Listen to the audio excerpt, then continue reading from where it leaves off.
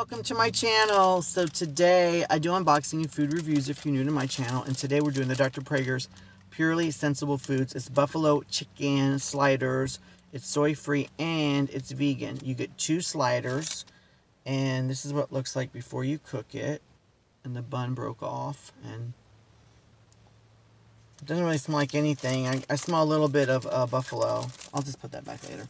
So, I got this at Central Market in Austin, Texas. I don't remember how much I paid, but it's soy-free.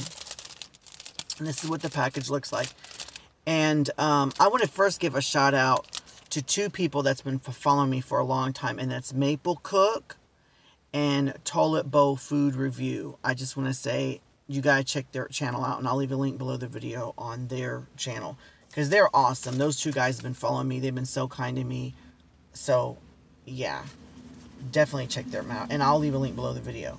But this is what it looks like. And so it tells you to microwave it with the patty first. Take the bun out on a paper towel, which I did, for 45 seconds. And then mic it again, putting it together for 45 seconds. The bread doesn't smell too good.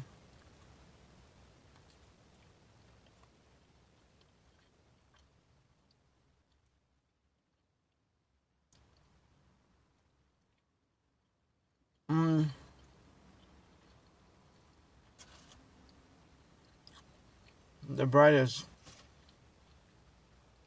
it tastes extremely generic.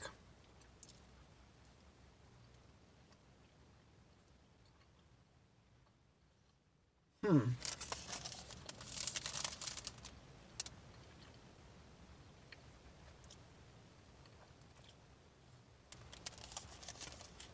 Well, these aren't too bad. They don't have a lot of flavor. They remind me of the Morningstar Farms in Buffalo, but more healthy.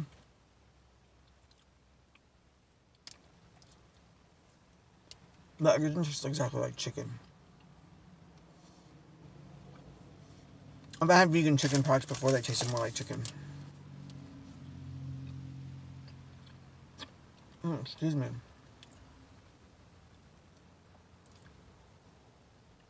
Hey, butternut squash puree. That's interesting. Um, this is good. Not, not the bread's not good. I won't get these again. Um, I do like Dr. Praeger's though. I've reviewed a lot of Dr. Praeger's on my channel. I'll try to leave like a link below the video. Like a excuse me, on a list of all the. I got hiccups. I got hiccups bad.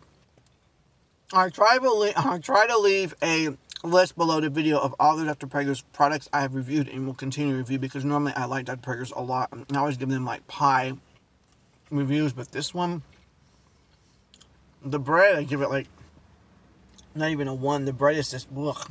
The patty,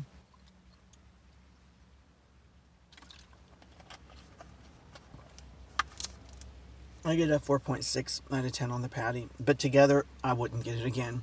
Please comment, like, subscribe, let me know what other foods you want me to try, and when you subscribe, hit that bell icon because I accept food requests. Also, I'm about ready to put a Patreon up so you can support this channel through that. So leave look below this video because there's going to be all kinds of links and information. All right, until next time, have an awesome day.